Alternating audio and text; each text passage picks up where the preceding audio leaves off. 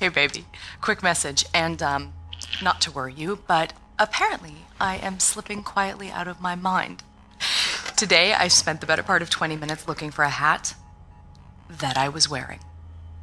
this week I found my keys in the door, on the outside, of course, my slippers in the shower, and my toothbrush in the refrigerator.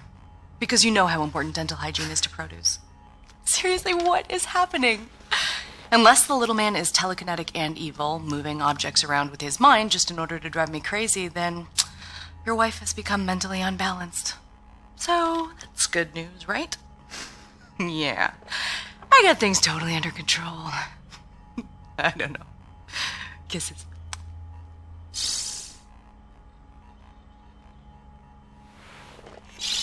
Hey, baby.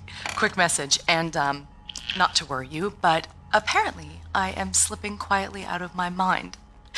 Today I spent the